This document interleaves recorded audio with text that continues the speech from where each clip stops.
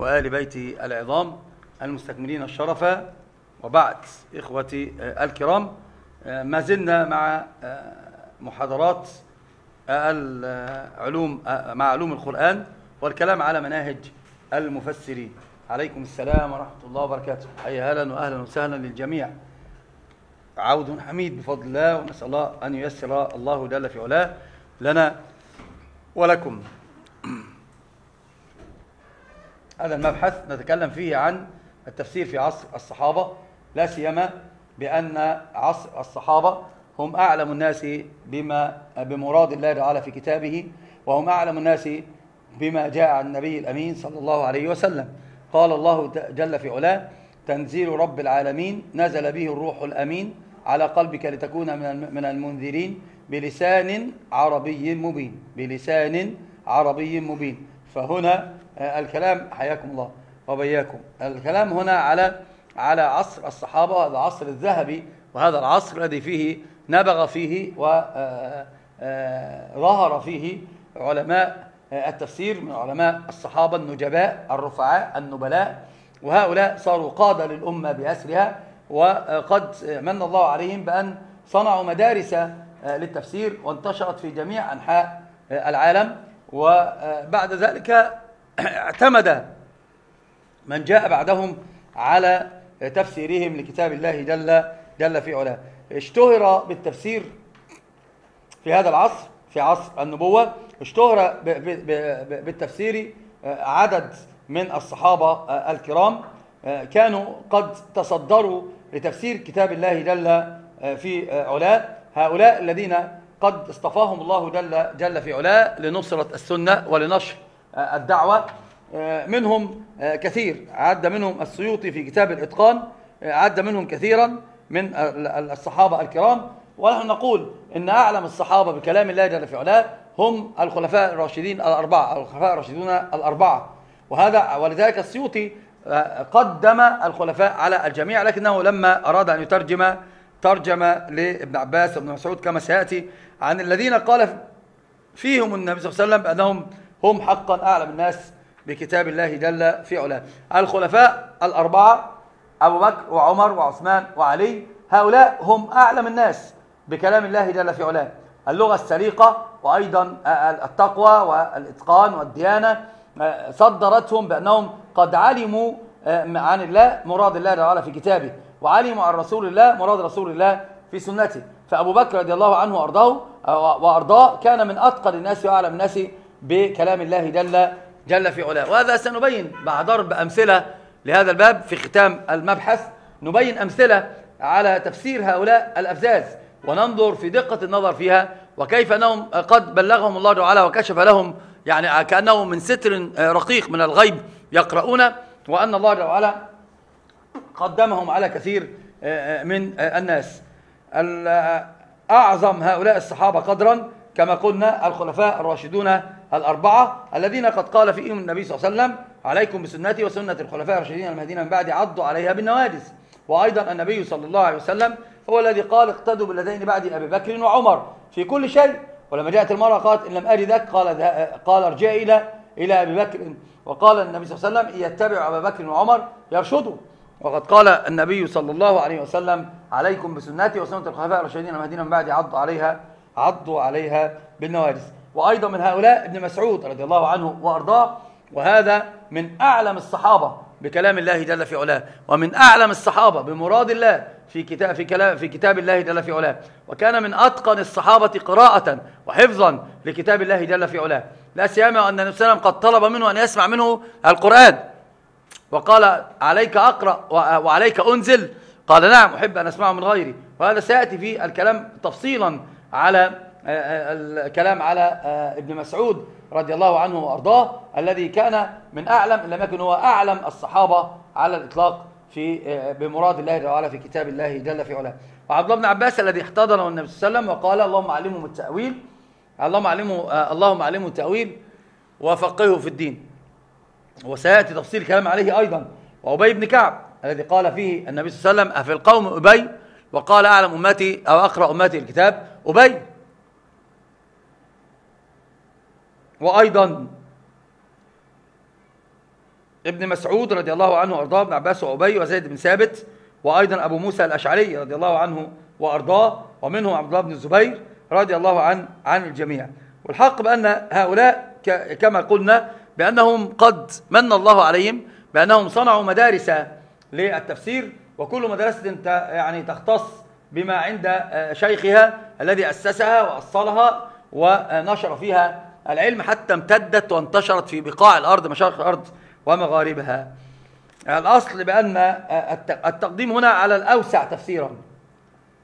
وإن كنت أقول بأن الأصل في التقديم الخلفاء الأربعة أبو بكر وعمر وعثمان وعلي هؤلاء من أعلم الناس أو هم أعلم الناس بكتاب الله جل في علاه تفسيرا وتفصيلا وأحكاما. ولكن الذي اشتهر بأنه عقد مدارس التفسير وعقد الدروس والتعليم هو هم هؤلاء الأربعة الأفزاز ابن مسعود وعبد الله بن عباس وأيضا أبي بن كعب وأيضا علي بن أبي طالب. هؤلاء هم الذين برزوا جدا لأنه نقل كثير من الناس عنهم التفسير. لذلك كانت الكتب بأسرها تعج بتفسيرات هؤلاء الأفضال الأماجد الذين قد صدروا أنفسهم تفصيلا وتفسيرا وتبيينا لكتاب الله جل في علاه. عليكم السلام ورحمة الله وبركاته. عليكم السلام ورحمة الله وبركاته. عبد الله بن مسعود. عبد الله بن مسعود هو آه، أعظم الصحابة إتقانا وعلما وقراءة لكتاب الله جل في علاه. عبد الله بن مسعود صاحب النعلين وهو صاحب الوسادة والسواك. عبد الله بن مسعود رضي الله عنه وأرضاه من آه، وهو بمكة. كان كان متصدرا يقرأ كلام الله جل في علاه حتى ضربوه وأدموه وكادوا يقتلونه وهو يقرأ كلام الله جل في علاه. عبد الله بن مسعود لتعلم من هو عبد الله بن مسعود مر عليه النبي صلى الله عليه وسلم وهو يقرأ القرآن في الليل والنبي صلى الله عليه وسلم استوقفته قراءته وهذه لا تستوقف قراءته إلا, إلا لحلو ما هو فيه وأيضا لعظيم تدبره عند عند القراءة. فقرأ القرآن فوقف النبي صلى الله عليه وسلم يستمع له حتى رفع يديه يدعو فقال النبي صلى الله عليه وسلم سل تجب سل تجب سل تجب. هذا عبد الله بن مسعود. وعبد الله بن مسعود والذي قال له النبي صلى الله عليه وسلم آه، اقرأ علي القرآن. قال أقرأ عليك عليك أنزل. قال إني أحب أن أسمعه من غيري. فقال النبي فقرأ عليه قول الله جل في علاه فكيف إذا جئنا من كل أمة بشهيد وجئنا بك على هؤلاء شهيدا؟ يومئذ يود الذين كفروا وعصوا الرسول لو تسوى بهم الأرض ولا يكتمون الله حديثا. وهذا عبد الله بن مسعود رضي الله عنه آه، وأرضاه الذي قال فيه النبي صلى الله عليه وسلم عندما ضحك القوم وهو على الشجرة يرون دقة ساقيه فقال على ما تضحكون؟ قالوا على دقة ساقه.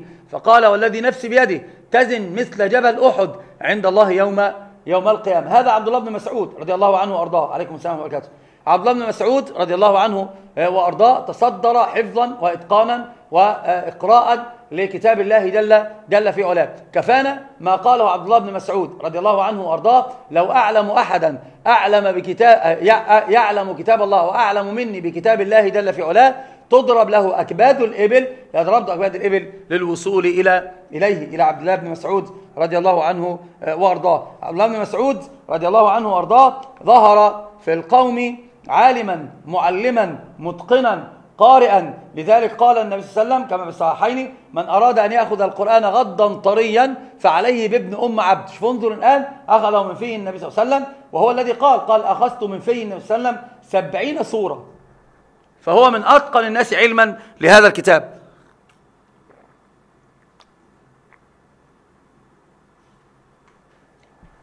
عبد الله بن مسعود رضي الله عنه آه، وأرضاه أرسله أبو أرسل أرسله عمر بن الخطاب آه، مع سلمان سلمان أميرا وكان وزيرا عبد الله بن مسعود معلما قاضيا ومعلما ولا نعم المعلم عبد الله بن مسعود رضي الله عنه وأرضاه. قال عنه عمر بن الخطاب قال والذي نفسي بيده لو كنت مؤمرا أحدا بلا مشورة لأمرت عبد الله بن مسعود. لما؟ للعلم وهذه فيها دلالة. واضحة جدا واضح واضحة جدا على على معرفة مكانات أهل العلم وأنه لا يمكن للمرء أن يرتقي إلا بمثل ذلك ولا للأمة أن تنتفض وتنتهض ولا للأمة أن تقود وتسود كما كانت إلا بالعلماء. ولذلك العلماء مادة خصبة لهذه الدنيا. العلماء لآلئ منثورة العلماء أمنة هذه الأمة. لا سيما علماء الكتاب والسنة. وابن مسعود رضي الله عنه آه، وأرضاه هو الذي آه، الذي الذي قال كما قلت قال لو أعلم أحدا أعلم مني بكتاب الله تضرب له أجباد الإبل لا ضربت له أجباد الإبل لا رحلت إليه. وهذه معناها أنه قال ما أحد أعلم مني. وهو آه، يرمي الجمرات في الجمرة الكبرى. قال هذا مقام الذي أنزلت عليه سورة البقرة. وهو يتكلم ويقول يقول والله أعلم في كل آية من كتاب الله. كيف نزلت؟ وأين نزلت؟ وعلى ما نزلت؟ وسبب النزول. وكان يقول كنا نمر على الآيات. فلا نتجاوزها حتى نتعلم ما فيها من الأحكام. فيحفظونها ويعملون بأحكامها ويتعبدون لله بها. هؤلاء القوم لذلك برعوا لذلك قادوا لذلك سادوا. عبد الله بن مسعود رضي الله عنه وأرضاه قام تحته تحته أناس يعني كثيرون. قد حملوا عنه العلم. عليكم السلام ورحمة الله وبركاته. تغيبت كثيرا. غفر الله لنا ولكم. لما قدموا على علي بن أبي طالب سألهم عن عبد الله بن مسعود رضي الله عنه وأرضاه. فقال فقال القوم يا أمير المؤمنين ما رأينا رجلا أحسن خلقا منه شوف صدروا الباب بالخلق. ومقياس كل امرئ خلقه. مقياس أي امرئ هو الخلق. قالوا ما رأينا أحسن خلقا ولا أرفق تعليما ولا أحسن مجالسة ولا أشد ورعا من ابن مسعود. اللهم علمنا الورع يا رب العالمين. اللهم اللهم ثبتنا وثبت الإيمان في قلوبنا واغفر لنا واهد بنا واهدنا واجعلنا من الصالحين المصلحين وأنت أرحم الراحمين.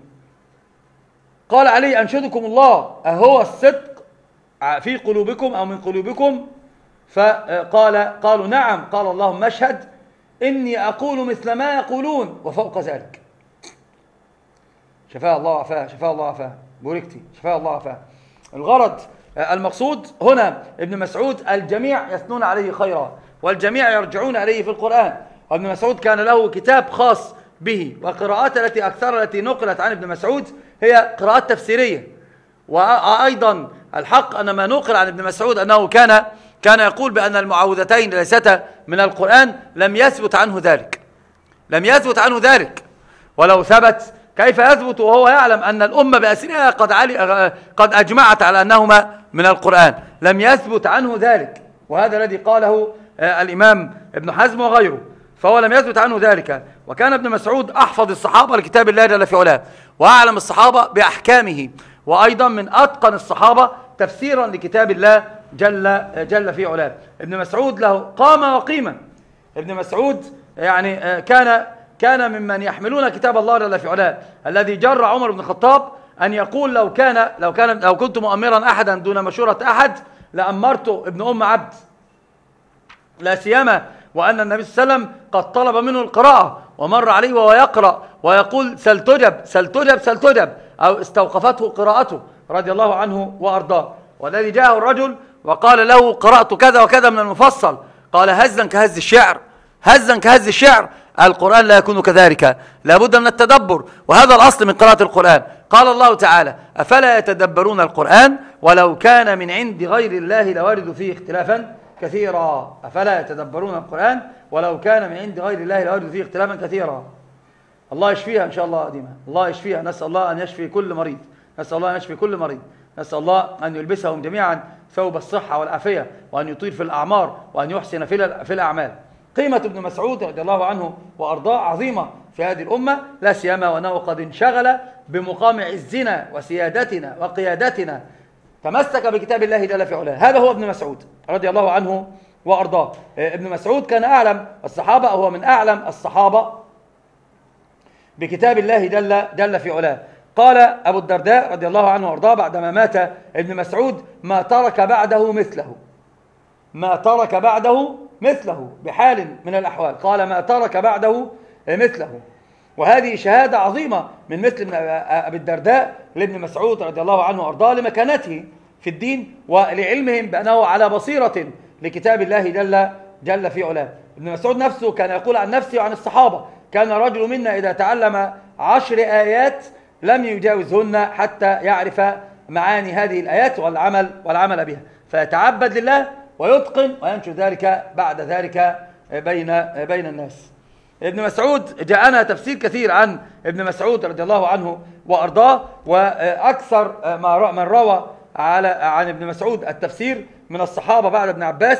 يعني أو هو أكثر من أكثر الصحابة رواية في التفسير. أكثر الصحابة رواية في التفسير بعد ابن عباس رضي الله عنه وأرضاه. لكني قدمت في الترجمة لابن مسعود لأن ابن مسعود أكبر سنا ولأن ابن مسعود أيضا أقدم علما بل وهو يعني لا يعني لا ينزل عن زنة ابن عباس في العلم بحال. وردت أسانيد كثيرة عن ابن مسعود في التفسير الذي نقل عن ابن مسعود رضي الله عنه وأرضاه. من هذه الأسانيد ما يضعف ومن هذه الأسانيد ما يعتمد عليه. ولذلك النقاد من علمائنا تتبعوا الأسانيد التي جاءت عن ابن مسعود نقلا عن ابن مسعود رضي الله عنه. من أعظم هذه الطرق التي آه، نقلت تفسير ابن مسعود من طريق الأعمش. الأعمش سليمان بن مهران وهو من أساطين المحدثين. من طريق الأعمش تعلمون أن الأعمش أيضا جمع الله له بين بين القرآن وبين السنة. وهو من أساطين المحدثين. كان حافظا جهبذا وكان قارئا متقنا. كان قارئا متقنا. سليمان ابن مهران ابن مهران الأعمش. سليمان بن مهران عن أبي الضحى ومن الثقات أيضا عن مسروق أبو عائشة وهو من المخضرمين. أبو مسروق أيضا من الثقات الأثبات من أساطين التابعين. كان من خيار العلماء. وكان كثيرا ما يسأل عائشة رضي الله عنها وأرضاها. عن ابن مسعود. ولعل هذا الطريق هو أفضل أعظم الطرق صحة. وأوثق الناس هم الذين رووا عن عن آه، ابن مسعود التفسير. من طريق الأعمش سليمان بن مهران وعن أبي الضحى عن مسروق عن ابن مسعود رضي الله عنه وأرضاه. هذه هذه الطريق اعتمدها البخاري.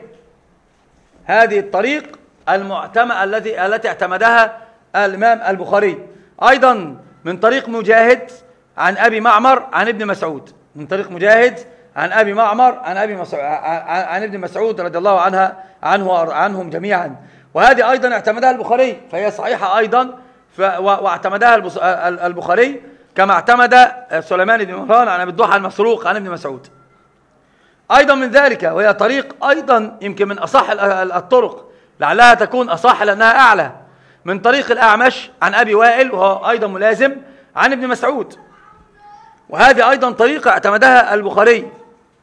فالحق لما نرى هذه الطرق الثلاثة يعتمدها البخاري دلالة على أن هذه الطرق الثلاثة التي ليس هو أبا عبد الرحمن ليس هو.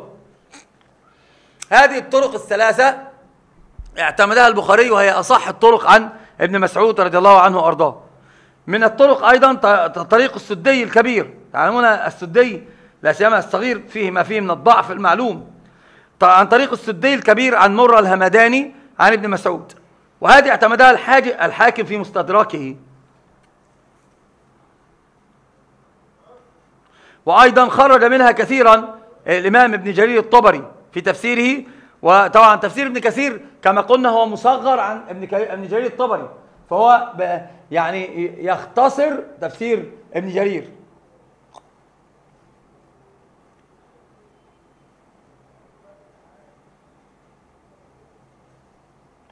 الطريق الخامس هو طريق أبي الوراق أبي, أبي روق عن الضحاك مزاحم عن ابن مسعود وأيضا هذا الطريق قد اعتمده ابن جرير الطبري في تخريجه ولكن هذه الطريق فيها ما فيها من الانقطاع. فالضحاك لم يلقى ابن, ابن, ابن مسعود. الضحاك لم يلقى ابن مسعود. لكن لابد أن نقول حتى هذا الانقطاع يحتمل.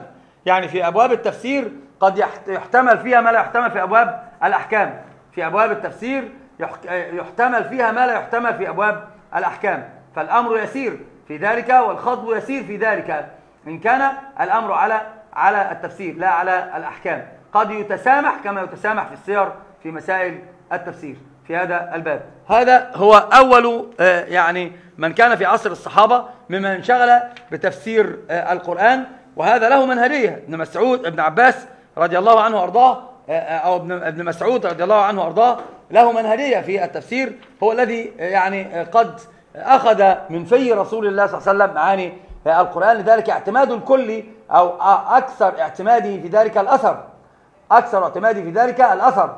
وأيضا التضلع في معرفة آه، أبواب النزول أو كيف آه، نزلت وأين نزلت وهذا الذي قاله تصريحا أنه ما من آية من كتاب الله جل في علاه إلا ويعلم كيف نزلت ومتى نزلت وأين نزلت. أسباب النزول تعطي بريقا للتفسير وأيضا آه، شهود القصة التي بها نزلت هذه الآية مثلا تعطي أيضا قريحة الذهن في معرفة الحكم في القرآن. لذلك كان من أعظم الناس آه، تفسيرا ابن مسعود لأنه اعتمد على الأثر على ما أخذه من النبي صلى الله عليه وسلم. أيضا مع آه، مع معلومية ابن مسعود كان حاضرا عند نزول الآيات يعلم أسباب النزول. ومن ذلك أيضا اللغة اللغة العربية كانت سليقة عندهم. لذلك كانوا كانوا من أتقن الناس في هذا الباب. كانوا من أتقن الناس في التفسير فهذا عمدة ما يعتمد عليه إمامنا اليوم هو إمام آه، الإمام ابن مسعود رضي الله عنه وأرضاه. جزاك الله خيرا إبراهيم. يا شيخ إبراهيم تسل وأنت تصلي تدعو لنا بالله عليك. رفع الله مقامك. ربنا يلحقنا بهؤلاء الصحابة الأخيار الأبرار العلماء هؤلاء الأفزاز الأماجد. ونسأل الله أن يغفر لنا الزلات والسقطات والهنات. هكذا ابن مسعود رضي الله عنه, عنه وأرضاه. هو ابن مسعود رضي الله عنه وأرضاه. جزيت الجنة يا جمال جزيت الجنة رفع الله مقامك وأسأل عليك أمرك. فهذه مادة التفسير عند ابن مسعود. من هؤلاء أيضا الأفزاز الأماجد الذين الذين قد تقدموا الناس جميعا في التفسير. ابن عباس. ابن عباس رضي الله عنه وأرضاه وهو أعظم الصحابة قدرا ومكانة وتفسيرا وعلوا على صغر سنه. سبحان ربي العظيم. ليس ليس الأمر على السن ولا على الوجاهة والمال والمكان. الأمر هنا على العلم. وقدر كل امرئ ما كان يحسنه. والجاهلون لأهل العلم أعداؤه وقدر كل امرئ ما كان يحسنه. والجاهلون لأهل العلم أعداؤه عبد الله بن عباس رضي الله عنه وأرضاه من أهل البيت. ابن عم رسول الله صلى الله عليه وسلم. مات ولم يبلغ الخمسة عشر سنة. مات النبي صلى الله عليه وسلم ولم يبلغ الخمسة عشر سنة. فهو كان جاء في حجة الوداع وقد ناهز الحلم. جاء في إلى إلى إلى في حجة الوداع عندما قال كنت أركب على أتان فوجدت النبي صلى الله عليه وسلم يصلي إلى منى من غير جدار. من غير جدار. فقال فتركت الأتان يلعب يرتع ووقفت في الصف. فصلى رضي الله عنه وأرضاه. عبد الله ابن ابن عباس رضي الله عنه وأرضاه كان حريصا على العلم. كان رجلا طلابا للعلم. وهو وهو وهو من هو في في المكانة لأنه من آل البيت. ومع ذلك كان يصف نفسه ويقول وكنت أبيت على عتبة أبي بن كعب. شوف انظر هنا يأخذ القرآن ممن قال فيه وسلم أقرأ أمتي للكتاب للقرآن أبي بن كعب. فقال فكنت أبيت على عتبة آه، على عتبة أبي بن كعب حتى يخرج ويقول يا ابن عم رسول الله لو طلبتنا أتيناك. قال العلم يؤتى ولا يأتي. العلم يؤتى ولا يأتي. هكذا ابن عباس رضي الله عنه وأرضاه الذي لقبوه بالحبر وبالبحر فهو حقا حبر هذه الأمة ممتلئ علما. وهو البحر لكثرة علمه ولسعة علمه. كان عالما بالكتاب وبالسنة وبأشعار العرب وباللغة وبالأحكام. ابن عباس احتضره النبي صلى الله عليه وسلم وقال اللهم علمه التأويل وفقهه في الدين. أصابته دعوة النبي صلى الله عليه وسلم. أصابته دعوة النبي صلى الله عليه وسلم. لذلك قال عنه من قدمناه في الترجمة قال ابن مسعود نعمة ترجمان القرآن ابن عباس. نعمة ترجمان القرآن ابن عباس. هذا قاله ابن عمر عندما سئل في مسألة فقال اذهب إلى هذا إلى ابن عباس فسله ثم تعال وأتني بما قال.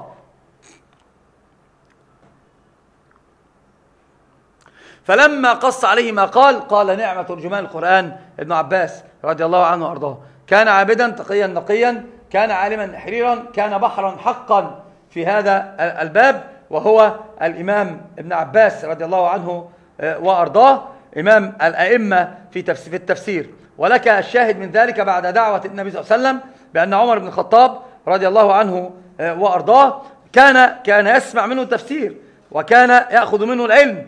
عندما عندما قال عمر بن الخطاب رضي الله آه، رضي الله عنه وأرضاه يسأل الجميع عن قول الله أيود أحدكم أن تكون له جنة من نخيل وأعناب؟ إلى آخر الآيات في سورة البقرة. قال فما, فما وجدت أحدا يشفي صدري على هذه الآية يعني. فقام ابن عباس وقال أنا متردد أن أتكلم. أو قال يا أمير, الم... يا أمير المؤمنين إني أرد في نفسي منها شيئا. فتلفت إليه آه، آه، عمر بن الخطاب قال لما تحقر نفسك؟ وهذا نأخذ منه بأن المسألة ليست دائرة على السن ولا غيره. وأن الإنسان إذا وقف مع الجهابزة وفتح الله عليه ما لم يفتح على غيره لابد أن يبين لهم ما عنده. ما لا تحقرن شيئا قد منحك الله إياه. وقد رفعك الله به وقد, وقد جعلك الله مقدما على الناس بعلم كتاب الله جل في علاه فعليك أن تعطي الناس ما أعطاك الله, الله جل في علاه. لذلك هذا وجوبا وأنت لابد أن تتمالك ما في قلبك يكون إخلاصا يكون صدقا لله جل في علاه يكون صدقا وإخلاصا لكن عليك أن, أن تبرز نفسك حتى يستفيد الناس منك. فقال له لا تحقر نفسك. ثم سأله عن الآية فقال له يا أمير المؤمنين إن هذا مثل. إن هذا المثل أو مثل هذا مثل ضربه الله جل في علاه. فقال أيود أحدكم أن يعمل أن يعمل عمره بعمل أهل الخير؟ طاعة لله. بعمل أهل الخير وأهل السعادة. حتى إذا كان أحوج ما يكون إلى أن يختمه بخير وفني عمره, عمره واقترب أجله ختم ذلك بعمل من عمل أهل الشقاء. أعوذ بالله. وإن المرأة لا يعمل بعمل أهل الجنة حتى لا يكون بينه وبينها إلا ذراع.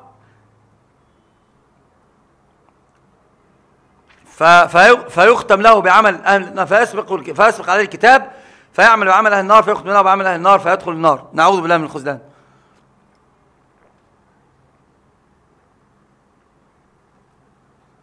هذا المثل تخويف من الله جل في علاه. هذا المثل تخويف من الله جل في علاه.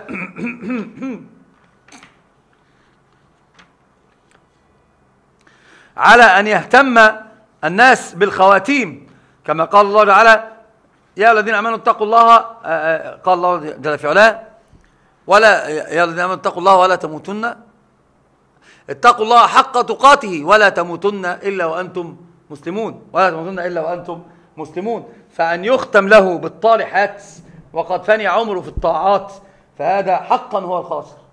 فضرب الله مثلا بذلك لتخويف الناس. ألا يختم لهم بغير الصالحات. اللهم اختم لنا بالصالحات وأنت أرحم الراحمين. اللهم اختم لنا بالصالحات وأنت أرحم الراحمين. إذن هذه دلالة واضحة جدا على على فضل ابن عباس وأن عمر بن الخطاب رجع إليه. وقلت لكم الأهم في ذلك دعوة النبي صلى الله عليه وسلم.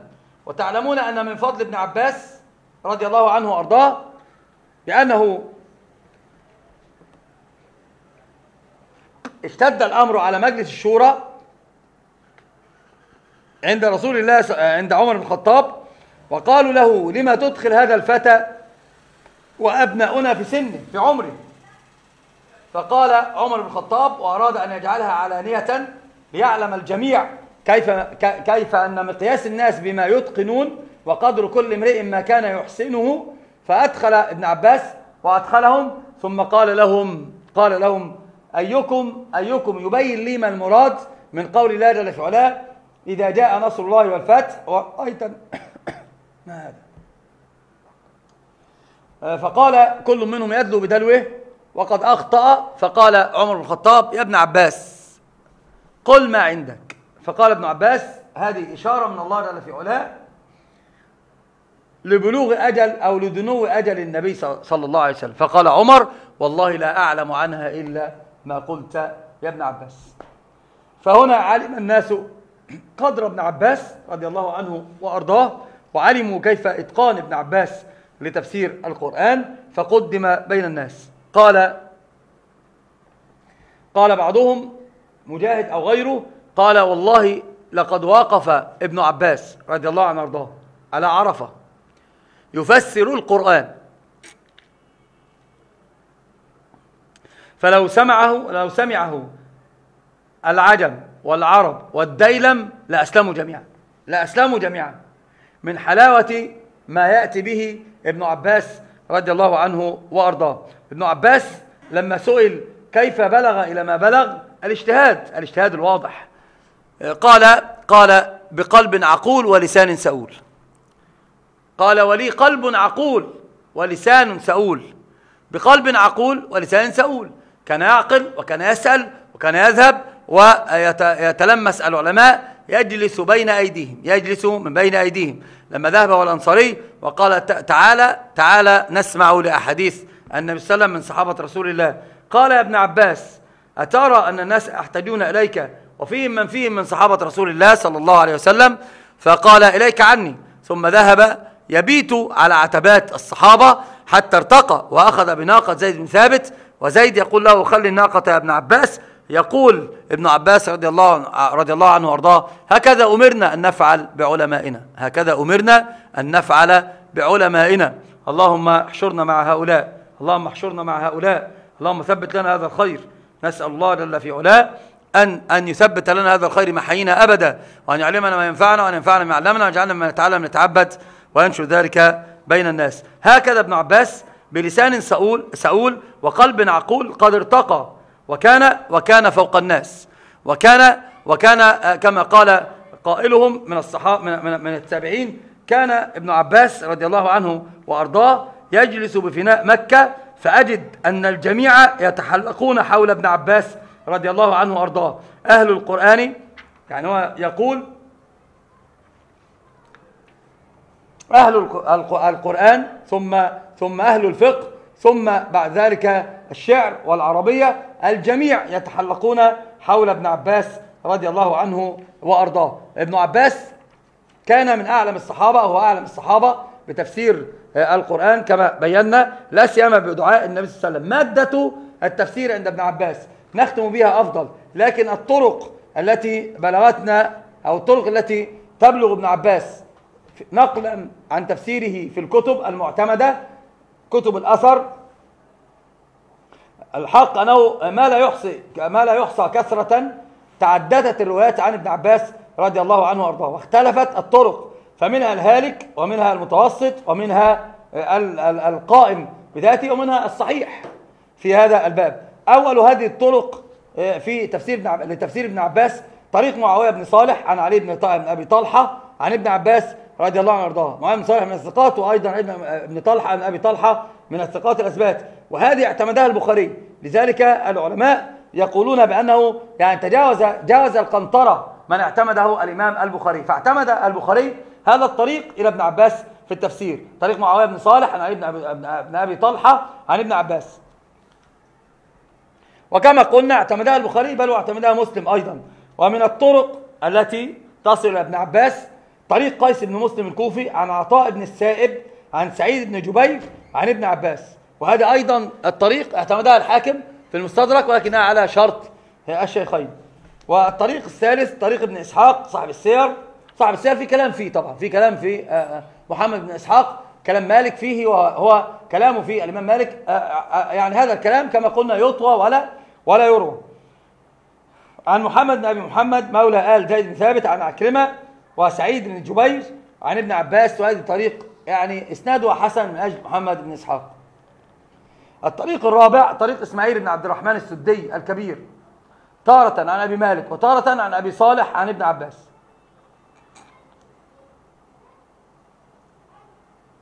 إسماعيل فيه كلام وهذه الطريق ضعيفة هذه الطريق فيها ضعف لأن إسماعيل إسماعيل بن عبد الرحمن السدي الكبير فيه ضعف. ومن ذلك طريق عبد الملك بن جريج عن ابن عباس. وهذه هذه يعني الحق أنها تعتمد لا سيما ابن جريج عن ابن عباس لكن الخشية في ذلك هو مسألة الانقطاع. الخشية فيها فقط هي مسألة الانقطاع. وطريق الضحاك بن مزاحم عن ابن الهلالي عن ابن عباس. وهذه طريق قد ضعفها العلماء. وأعظم منها ضعفا طريق عطية العوفي. عطية العوفي عن ابن عباس أيضا من الطرق الضعيفة. أما طريق مقاتل من سليمان مقاتل أصلا كذاب كذابه غير واحد. فهذه طريق لا تعتمد بحال من الحوال هذه من هذه الطرق هي الطرق التي جاءت أيضا عن آه، آه، ابن عباس في قوله يوم يكشف عن ساق قال شدة, الحر... شدة, شدة هول الموقف. والطريق التاسع التاسع هو طريق محمد بن سائب الكلبي عن أبي صالح. عن ابن عباس رضي الله عنه وأرضاه. لما؟ لأنه يعني هذا الطريق ممن يروى يروي عن الكلبي محمد بن مروان السدي الصغير. وقال العلماء هو ذاهب الحديث متروك بل قد أفحش فيه القول بعضهم وقال وضاع وضاع كذاب. فهذه هذه الطريق هي هي أوهى الطرق. وأعظم الطرق قبولا طرق ثلاثة. طريق قيس بن مسلم الكوفي عن عطاء بن السائب عن سعيد بن جبير عن ابن عباس. وإن كان نازلا وطريق ابن إسحاق عن محمد بن أبي محمد مولى الزيد بن ثابت عن عكرمة وسعيد بن جبير عن ابن عباس وأيضا يعني يمكن هذه الطرق الثلاثة هي أقوى الطرق عن ابن عباس رضي الله عنه وأرضاه. فإن أردت أن, أن ترى التوثيق لتفسير ابن عباس الذي نقل عنه فانظر فيها هل هي من هذه الطرق الأربعة أم لا. لأن هناك من جمع التفسير لابن عباس جمع كتابا كاملا لابن عباس وقال هذا تفسير ابن عباس سماه تنوير المقباس من تفسير ابن عباس. جمع أبو طاهر محمد بن يعقوب الفيروز أبادي الشافعي. الحق بأن بأنه جمعوا على طريق من طريق محمد مروان الكلبي عن أبي صالح عن ابن عباس. وهذه من أوهى الطرق. هذه من أوهى الطرق. عليكم السلام وبركاته. عليكم السلام وبركاته. فهذه من أوهى الطرق. فهذا يظهر لنا أن الكتاب الكامل المنسوب لابن عباس بأنه واهي. بأنه واهي. والحق أنه قليل منه جدا. هو الذي هو الذي ثبت لابن عباس. فالصحيح بأن هذا الكتاب الكامل المنقول الذي الذي جمعوا فيه كلام ابن عباس تفسيرا هو ليس من قول ابن عباس. هو ليس من قول ابن عباس. لأن أصل الطريق في ذلك هو كما قلنا هي من طريق محمد مروان عن الكلبي عن أبي صالح عن ابن عباس. وهذا فيه ما فيه من العطب الكامل. هذه من أوهى الطرق. لذلك الكتاب المنسوب لابن عباس ليس ليس من تفسير ابن عباس رضي الله عنه وأرضاه. والحق أن كثير ممن ممن يعني وضع على ابن عباس بسبب شهرة ابن عباس وبسبب دعوة النبي صلى الله عليه وسلم لابن عباس. مادة تفسير مادة التفسير عند ابن عباس أولها هو فم النبي صلى الله عليه وسلم أيضا. لأن ابن عباس أخذ التفسير عن صحابة رسول الله الذين أخذوا عن النبي صلى الله عليه وسلم. لا يقال بأن ابن عباس يعني مباشرة أخذ التفسير من كلام النبي صلى الله عليه وسلم. لا. كان صغيرا. مات النبي صلى الله عليه وسلم وهو لم يبلغ الخمسة عشر من سنه. ابن عباس أخذها من أبي ومن زيد بن ثابت. ابن عباس أخذ المأثور من التفسير. عفوا. أعتذر إليكم. الأمر مفاجئ يعني أنا ما أدري. جزاكم الله خير قلت بأن ابن عباس رضي الله عنه وأرضاه مادة التفسير عند ابن عباس رضي الله عنه وأرضاه هو المأثور عن النبي صلى الله عليه وسلم. وهذا ما أخذه من النبي مباشرة. هو ما أخذه من النبي مباشرة. جزيتم الجنة. لكنه أخذه من صحابة رسول الله الذين أتقنوا عن النبي الكتاب. ما أدري ما أقول لك أحد. نعم. فالنبي صلى الله عليه وسلم علم أبيا وابن مسعود وزيد بن ثابت وابن عباس انشغل جدا في القرآن بأبي وزيد بأبي بن, بأبي بن كعب وزيد بن ثابت. وأيضا مادة وأيضا مادة التفسير عند العلم علم الأعلام في التفسير لصحابة رسول الله ابن عباس رضي الله عنه وأرضاه اتقانوا لأشعار العرب. اتقانوا لأشعار العرب وأشعار الجاهلية كان يحفظ يعني آلاف الأبيات آلاف الأبيات. آلاف الأبيات. لما جاءه هذا الحروري الخارجي يسأله عن قول الله جل في علاه قال إن سائلوك عن تفسير القرآن وتأتينا بما, بما يكون أساسا منه من اللغة العربية يعني من لغة العرب. قال سل. فقال أخبرني عن قول الله تعالى عن اليمين وعن الشمال عزين. عزين يعني متفرقين. كما نزل وسلم فتفرق الصحابة تحت الشجر فقال لهم سلم منكرا ما لي أراكم عزين. ما لي أراكم عايزين فقال ابن عباس العزون حلق الرفاق حلق الرفاق. قال كيف نعرف ذلك من لغة العرب؟ قال أما سمعت عبيد بن الأبرص فجاءوا يهرعون إليه حتى يكونوا حول منبره عزينا. فأتى له بالبيت فهو يحفظ آلاف الأبيات من من شعر من من الشعر من شعر الجاهلية. وإن كان بعض الفقهاء قد أنكر عليه ذلك أو أنكر ذلك يعني بالاعتماد على الشعر في التفسير. قالوا الشعر ليس حاكما على القرآن القرآن حاكم على الشعر وده صحيح. الحق بأن أصل اللغة وضع اللغة الله وضع اللغة هذه. فالقرآن حاكم على اللغة ولا عكس. القرآن حاكم على اللغة ولا عكس. لكن هذه مادة تفسير. الحق أنها مادة تفسير. بزيت الجنة. أمين. اللهم أمين. هذه مادة تفسير. هذه مادة تفسير. أيضا كثرة أسئلة ابن عباس. ابن عباس كان كثير السؤال. وطالب العلم كثير السؤال محسن في إتقان السؤال. هذا أخذ شطر العلم. نقاء القلب والنية وصفاء النية والإخلاص لله جل في بلغ بابن عباس مبلغا. ولذلك قال قال قال بلسان سؤول وقلب عقول وهو الذي قال يؤتى المرء العلم الفهم بنيته بنيته. فهذه كانت مادة التفسير عند ابن ابن عباس رضي الله عنه وأرضاه. من هؤلاء الرفعاء النبلاء علي بن أبي طالب رضي الله عنه وأرضاه. وعلي بن أبي طالب رضي الله عنه وأرضاه هو الخليفة الراشد الرابع.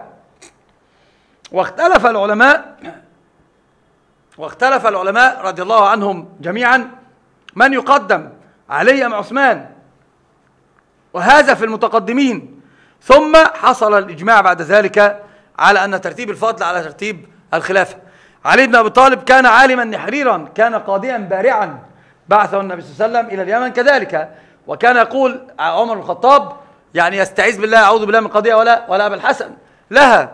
وأبو الحسن هو من أتقن الناس في القضاء. وهو أيضا من أعلم الناس بالتفسير. من أعلم الناس بكلام الله جل في علاه. لا سيما البلاغة والفصاحة التي كان عليها علي بن أبي طالب. كان خطيبا بارعا. عثمان لما تولى الخلافة قام على على المنبر لا يدري ماذا يفعل. قال أيها الناس لسنا من أهل الخطابة. لسنا من أهل الخطابة. ثم تكلم معهم ونزل. ومع ذلك تدرب على الخطابة لكن علي بن أبي طالب كان فصيحا بليغا خطيبا مفوها. فهذه مادة أيضا لإتقان آه، الفهم والعقل عن مراد الله جل في علاه في كتابه سبحانه جل, جل في علاه. علي بن أبي طالب كان أيضا من أهل التفسير وقد نقل كثير من التفسير آه، آه، من تفسير علي بن أبي طالب وكانت له أيضا طرق كثيرة تصل إلى علي بن أبي طالب في آه، التفسير. طبعا تعلمون أن علي بن أبي طالب شهد المشاهد بأسرها مع النبي صلى الله عليه وسلم إلى تبوك وكان علي بن أبي طالب يعني من من أعظم الناس عملا لنصرة الدين لا سيما فتح خيبر عندما قال النبي صلى الله عليه وسلم لا أعطينا الرأية غدا رجلا يحب الله ورسوله ويحبه الله ورسوله يفتح الله على يديه يفتح الله على يديه. الطرق الموصلة إلى تفسير آه، ابن مسعود رضي الله عنه وأرضاه من طريق هشام عن محمد بن سيرين عن عبيد السلماني. طبعا عبيد السلماني هو أخص الناس بعلي بن أبي طالب رضي الله عنه وأرضاه.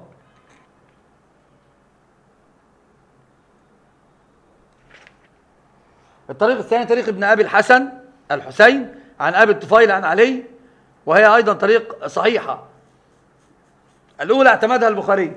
والطريق الثالث طريق الزهري عن علي زين العابدين عن أبيه الحسين عن أبيه علي وهذه أيضا من الطرق الصحيحة الشريفة.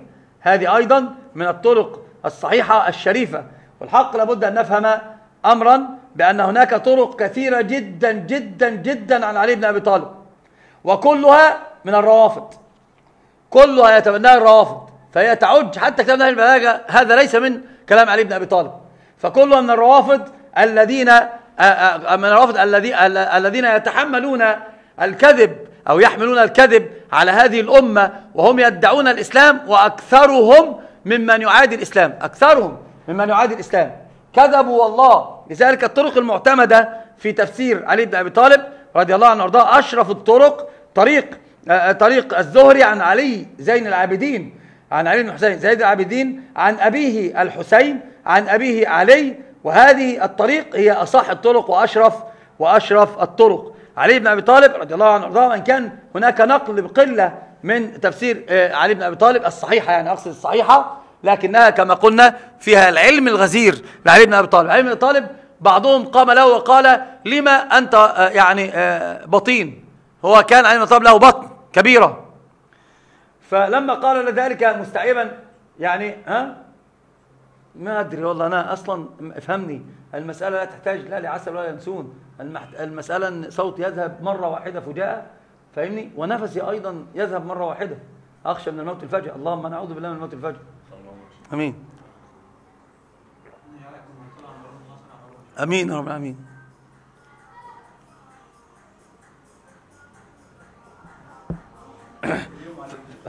فكانت إجابة علي بن أبي طالب رضي الله عنه وارضاه أنه قال أعلاها علم وأسفلها طعام. ففيها فائدتان. فشوف هذه دقة النظر حتى في في مسألة ال ال الرد. فهذا علي بن أبي طالب رضي الله عنه وأرضاه وكان منشغلا بكتاب الله جل في علاه. أيضا أمين. أيضا من هؤلاء الأفزاز الذين هم يعني من أعظم الناس قدرا في التفسير أبي بن كعب. آه من أبي. أبي الذي قال فيه النبي صلى الله عليه وسلم آه نعم جزاك الله خيرا لكن المسألة, المسألة مش في الأحبال الصوتية.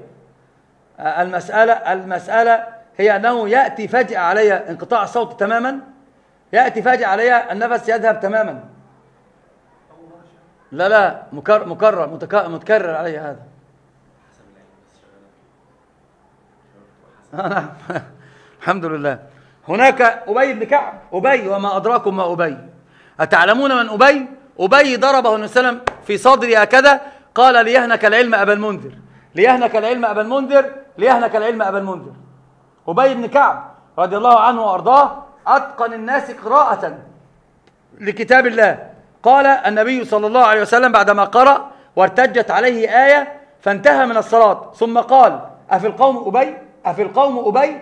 فقام قال ها أنا ذا يا رسول الله. فقال النبي صلى الله عليه وسلم ما منعك؟ يعني ما منعك أن تردني؟ والسؤال فقط عن أبي دلالة على مكانة أبي.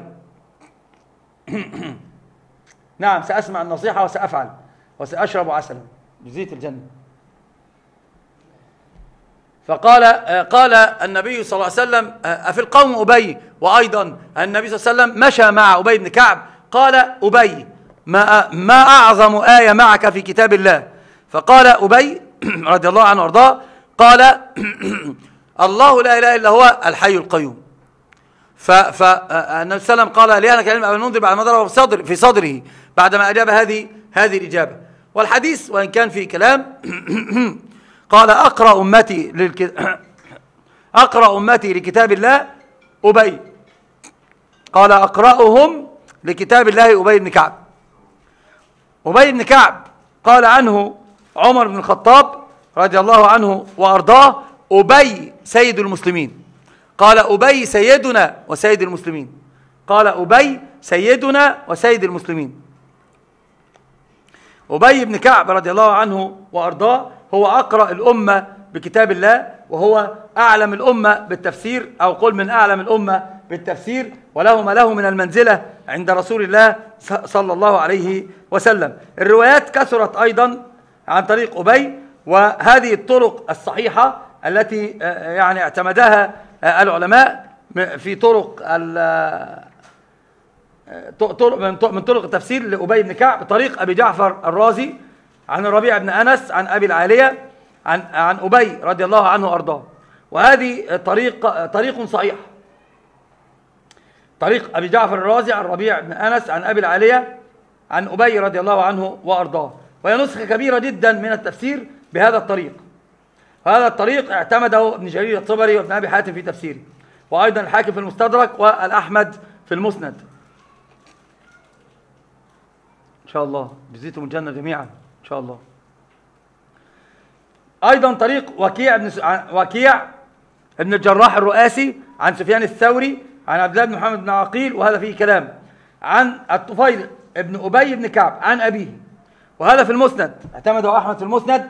وعبد الله بن محمد بن عقيل بن عقيل. فيه كلام. فيه كلام. لكن هي طريق حسنة. هي طريق حسنة. يبقى لنا ختاما للمبحث هنا في الكلام على التفريق بين الأربعة. أولا التفريق بين الأربعة من أتقن الناس لكتاب الله وللتفسير ابن مسعود. من أتقن الناس ابن مسعود. ولما قدمت أنا ابن مسعود على على ابن عباس لأمرين اثنين. الأمر الأول قدم ابن مسعود وكثرة ملازمة ابن مسعود للنبي صلى الله عليه وسلم وأخذ التفسير من فمه. وأيضا ابن مسعود لم يأخذ من أهل الكتاب. ابن مسعود لم يأخذ من أهل الكتاب. أما ابن عباس الحق أنه أخذ من أهل الكتاب. ابن عباس أخذ من أهل الكتاب وهذه ميزة تميز ابن مسعود على على ابن عباس. يعني كان آه، آه، النبي صلى الله عليه وسلم قال حدثوا عن بني إسرائيل آه، يعني ولا حرج. قال لا تصدقوا ولا تكذبوا. نعم. لكن الحق بأن يعني أن ابن مسعود لازم النبي وأخذ من في, من في النبي صلى الله عليه وسلم ولم يأخذ من أهل الكتاب لذلك يقدم ابن مسعود على ابن عباس. ابن عباس يتفوق عليه في كثرة النقل عنه. ولأن كثير ممن تطوع ووضع على ابن عباس لأنه من آل البيت ولأنه يعني دعوة النبي صلى الله عليه وسلم أصابته. فلذلك كانوا كثيرا ما ينقلون عنه.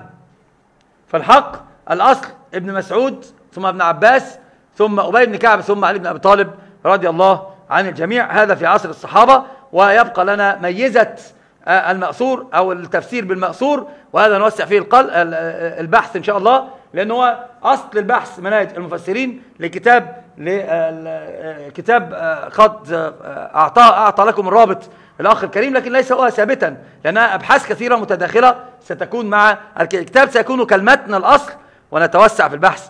بعد ذلك. الكلام على التفسير بالمأثور وقيمة التفسير بالمأثور وأن هذا عن الصحابة رضوان الله عليهم. هذا بحث موسع ومهم جدا نقف عنده لأن هذا هو أصل التفسير.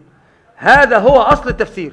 فإن شاء الله نبينه بإذن الله في الدرس القادم. نعم هي قالت أنا حديث أنا مدينة العلم وعلي, وعلي بابها هذا موضوع. الحديث أنا مدينة العلم وعلي, وعلي بابها هذا موضوع موضوع أصالة. هذا حديث موضوع. نعم. أخونا الباشمهندس آه، نعيم بيقول هل من حرج في تكرار السؤال ذاته؟ يعني في تكرار السؤال ذاته على أكثر من عالم لا لضرب أقوالهم بل لترسيخ العلم والبحث عن دقائق ونكات وفهم أكثر في المسألة؟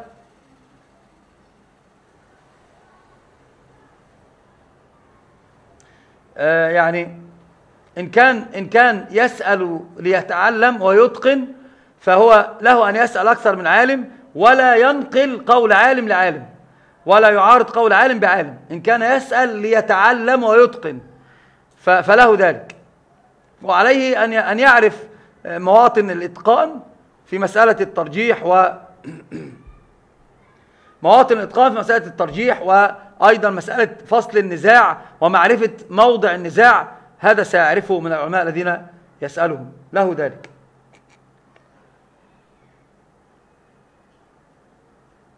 وإياكم بزيتم الجنة. له ذلك إن كان يريد أن يتعلم كما قلت. لو في أي سؤال اتفضلوا. آمين آمين. ربي يحفظكم. طيب آه، الوقت كده ضاق علينا. يعني التفسير نرجعه للغد. أو نجعله لبعد الغد. يبقى التفسير يبقى يومين وخلاص مش هنستطيع. هات ابن ماجه عشان نختم بيه الدروس. أنا استغفر الله. هذا جاهل. هذا جاهل. الأخت الفاضلة تقول ما قولك في من يعتمد على أنه من أهل التوحيد وأنه سيدخل الجنة ويفعل ما يشاء من المعاصي؟ لعل الله يسحب منه توحيده بهذا بهذا. لا يأمن مكر الله إلى القوم الخاسرون. ولعله يختم له بهذه المعاصي أو يختم له بشرك فيخلص في نار جهنم. نعوذ بالله من الخذلان هذا استدراج من حيث لا يعلم. سنستدرجهم من حيث لا يعلمون. لابد ينصح هذا الشخص. رفع الله مقامك جمال. وأحسن الله إليك. وأحسن الله عليكم جميعا. ونفع بكم.